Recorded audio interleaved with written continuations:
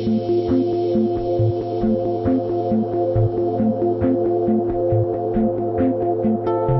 Discovery Vision concept has advanced laser headlamps that offer enhanced visibility, over 300 meters more than regular LED units, and added functionality with intelligent object tracking and beam dipping.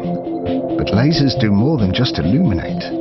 With laser referencing, visible markings are projected onto the ground surface to help judge clearance through gaps and obstacles while sensors constantly scan the area ahead to build an interactive map on the console screen.